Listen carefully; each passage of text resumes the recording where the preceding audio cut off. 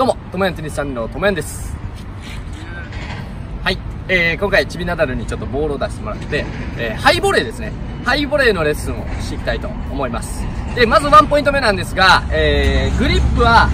えー、薄めに握ってもらった方がいいです。ハイボレーってことは、まあ、攻めるハイボレーもあれば、守るハイボレーもあるんですけど、多分こう、ちょっと、間に合わなくて、ハイボレーっていう人が多いと思うんで、そういう場合は、薄いグリップで握ってもらったら結構です。薄いグリップ。こっちじゃなくて、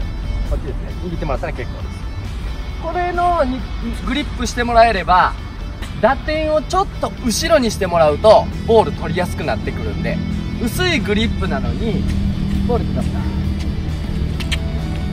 打点を自分の体の前にしないようにしてください。前にしてしまうと、薄いグリップは、やっぱりこっちに飛びやすくなってくるんで、しっかり体を横向けて、手を上に開いて、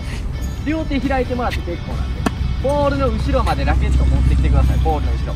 で、しっかりボールを引きつけると、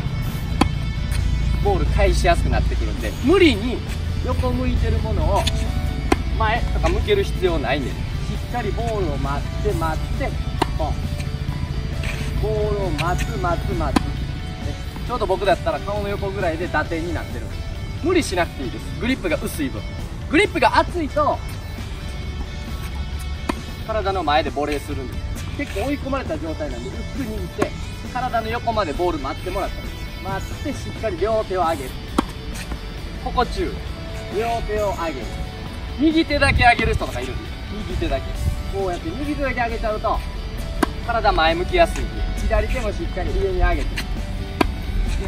通常のボレーでも左手出すでしょ。それと一緒。同じように高さに合わせて左手をぐーっと出して、ボールを待つように練習してください。はい。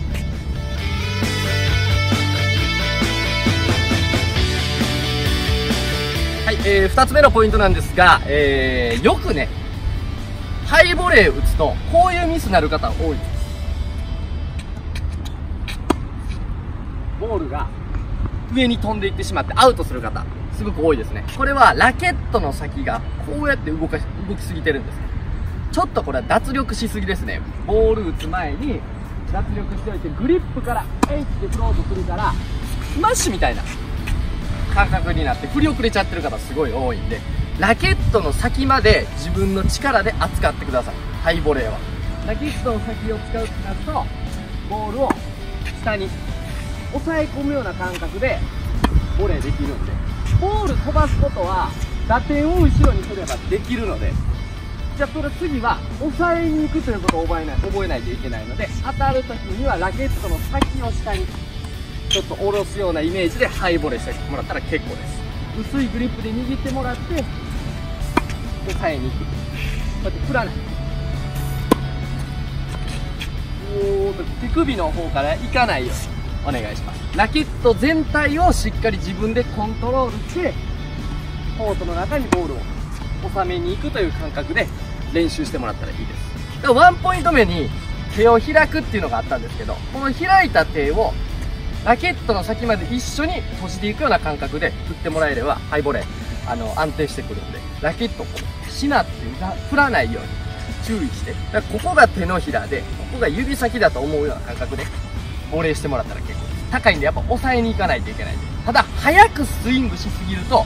ネットしてしまうんで、ラケットの先が折りすぎてネットしちゃうので、できるだけボールを待って、ゆっくりで結構なんで、ラケットの先をしっかり自分で扱って、ボレーができるようにしていってください。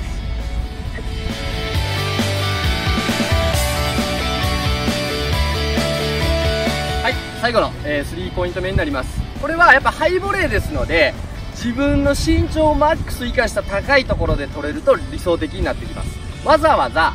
ボールお願いします。ボール待って待って低いところにならないように。こういう方すごく多いですね。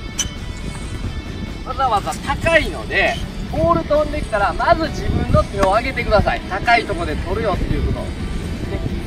じゃあ、あとはボールの後ろまでしっかり動くこと。ね、ここのセットができてると、足の位置決まってくるんで、このセットをしっかり、ボールの後ろに来るように、お願いします。